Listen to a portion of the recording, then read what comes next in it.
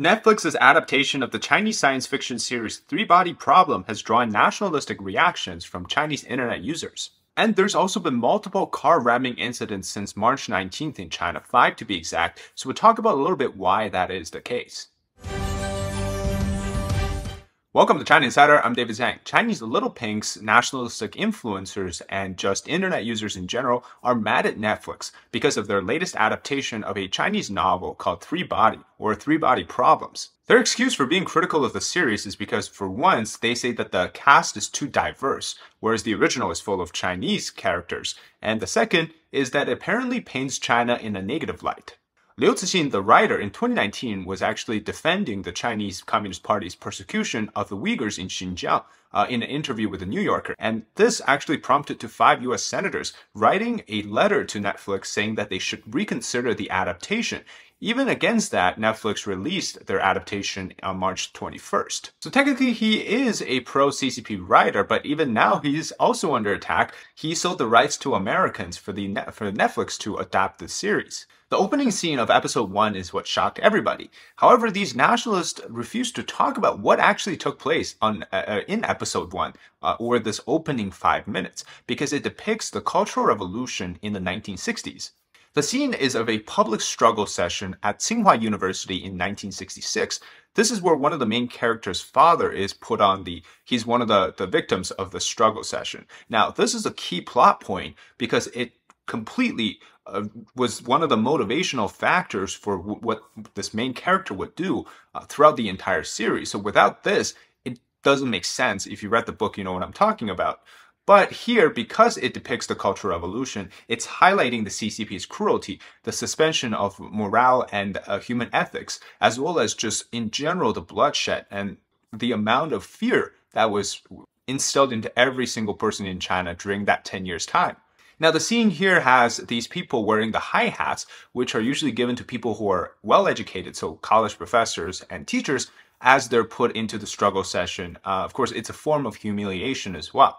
And here the Red Guards uh, start to beat them up, and the crowd here, it's uh, they're gathering to basically ask for the death of this traitor who they're being branded as an anti-revolutionary or as a rightist or as an imperialist or American sympathizer, etc. All these names. Now, it's very good because this version, the Netflix version, actually has this scene, whereas in the Tencent, the Chinese version, they move that to the middle of the series. So now the Western world finally gets to see on screen what the Cultural Revolution was like. However, this does not highlight the complete picture because in my view, this is still the watered down version of what really happened. For example, one of the uh, scene here in the first five minutes show the Red Guard after beating up the father of one of the main characters, she actually kind of hesitates a little bit. Now, this would never happen in the actual Cultural Revolution because the Red Guards were ruthless and they were known for their bloodthirsty nature and just the amount of brutal murder methods that were committed against even pregnant uh, women, uh, unborn babies,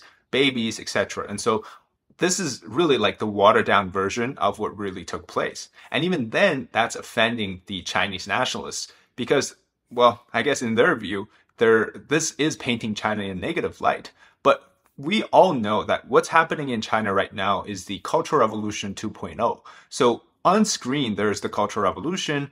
Off screen, in real life, China's going through another one. Clearly, the format is different, but it's the same essence, right? It's the suspension of morale and human ethics is the suspension of just emotions among people, but it's actually the encouragement of people struggling against other people, pitting groups against groups, so-called different classes, uh, different sort of social ladders, and all of these serve to benefit the CCP. Now, even the book itself already paints a much darker version of China. It's being anti-human, the fact that it is bloody, it is cruel, um, so I don't think the Netflix version even does that justice. Of course, that's a different type of criticism.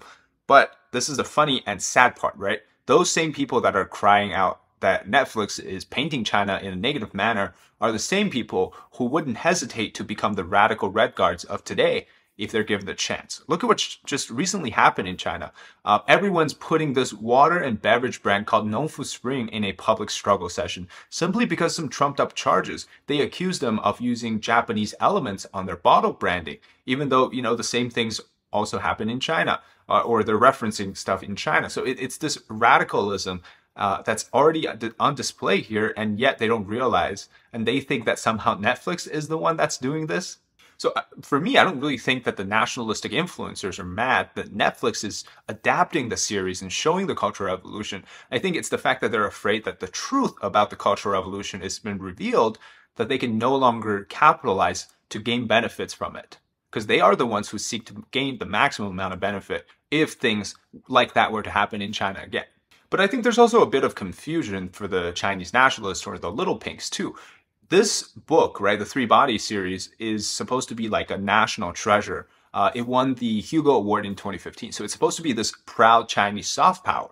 Being adapted into the Netflix version, clearly, you know, this also contradicts their beliefs because I guess they're offended that the cast or the storyline has been changed into more of a Western version, um, and they are they feel like that this is no longer them being the center of attention and at the same time, you know, generating this whole idea of this nationalistic hate towards the Netflix version allows them to feel a little bit better about themselves because, well, they just have another thing to cry about now. But I think the painful reality for every other Chinese person is that today it is going through a different form of cultural revolution. Under Xi Jinping, you can call it the 2.0 or the cultural revolution uh, sort of like situation but it's different. It's no longer about the, you know, physical class struggles or so on, but it's clearly, it's still people against people, different groups against different groups, which is ironic considering that the current leadership, including Xi Jinping and all of the uh, top cabinet members, uh, they all come from the period of the Cultural Revolution. They lived it, yet now they want to repeat it. And it, it's the the 10 years of the Cultural Revolution in Chinese people's hearts, it's a painful decade um, from 66 to uh, 76.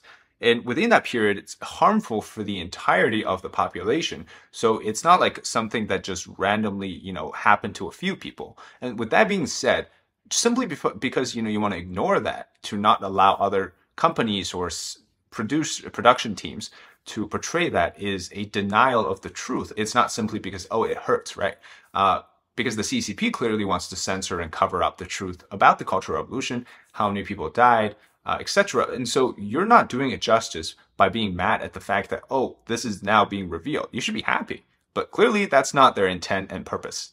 So I really think that the scene, the first five minutes, produces a tenth of what really happened the cruelty, the bloodiness, and just in general, I think the destruction of humanity.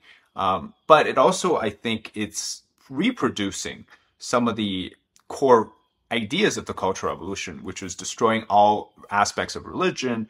Um, it's creating this idea of terror to control people rather than people having rule of law, right? It was the suspension of rule of law. So all of these things are important for people to know and to actually learn about. Of course, there's also other criticisms such as the cast being too diverse, uh, story being a westernized version.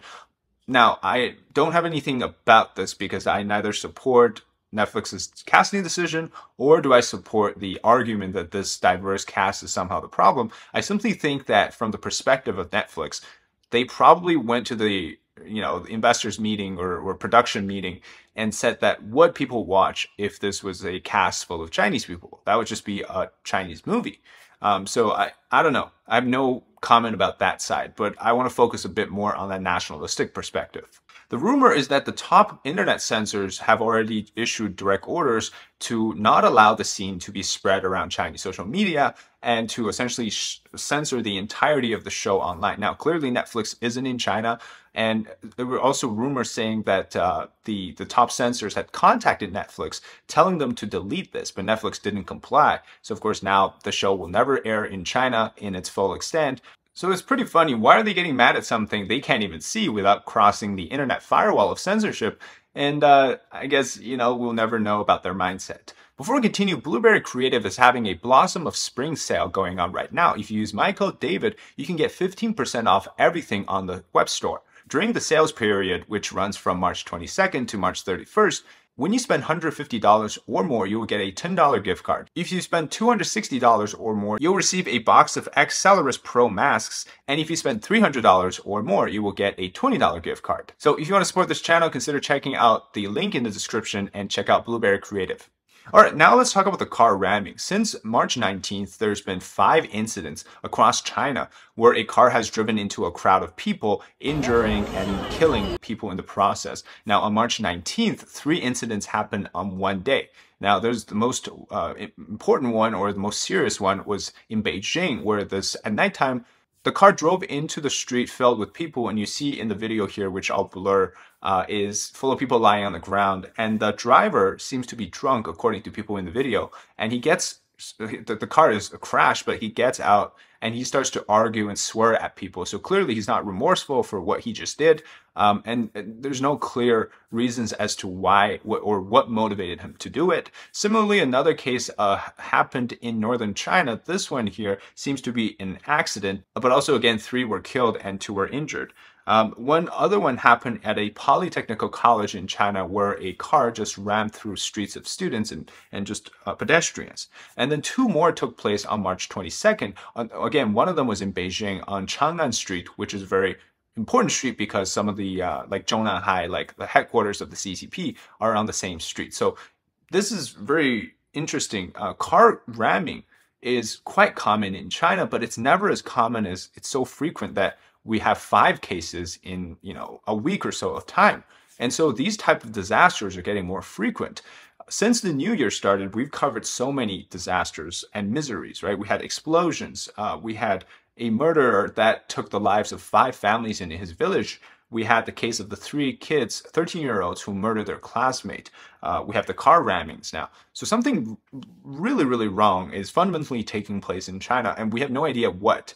But we just know that the pressure is mounting and it's starting to reflect from the bottom up. And so there's just a frequency, the amount of like miseries, and just in fact innocent people have to die for this, right? A lot of times it's because of social retaliation. Um, they wouldn't go retaliate against the government, but they would do so by taking the lives of innocent people. The fact is, China today, you, you, you have to use your real name when you buy a cleaver. Uh, scissors are chained up, cleavers are chained up.